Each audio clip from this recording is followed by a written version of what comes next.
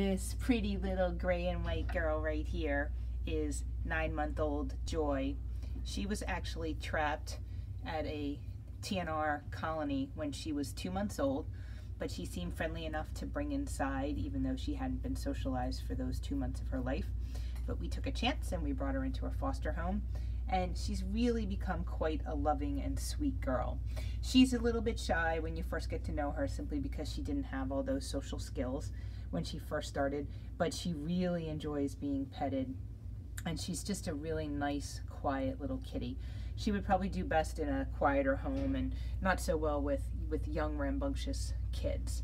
But she's absolutely adorable. She is our cover photo on our Facebook page and she is just the sweetest little thing. Joy is already spayed. She's FIV and feline leukemic negative. She is litter box trained. She is up to date on all of her shots and she is waiting here at PetSmart for just the right family to find her, take a chance on a quiet little girl and bring her into their forever home. So come here and meet sweet little Joy.